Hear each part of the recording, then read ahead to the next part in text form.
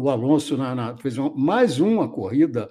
uh, estilo Alonso, do mais alto nível, é, tirando muito, muito mais do que o carro e a equipe tem para dar. Ele fez uma largada monumental, pulou para o segundo lugar, e esse pulo dele para o segundo lugar definiu o resto da corrida para todo mundo que estava ali por perto, ou até um pouco mais para trás foi realmente espetacular. Mas, de qualquer maneira, na hora que o Alonso começou a se manter lá na frente, forçando o ritmo numa luta com o Pérez, o Norris comentou: o Alonso está andando muito forte, isso é bom para a gente. Não é mais a, a, aquele, aquele Lando Norris que jogou uma eventual vitória fora, porque se negou a, a admitir que precisava parar para trocar pneus de chuva, o que realmente lhe, lhe, tiraria a possibilidade de vitória. Não. O que temos agora é um Alonso que sabe, um, é, um, é um Norris que sabe ler a corrida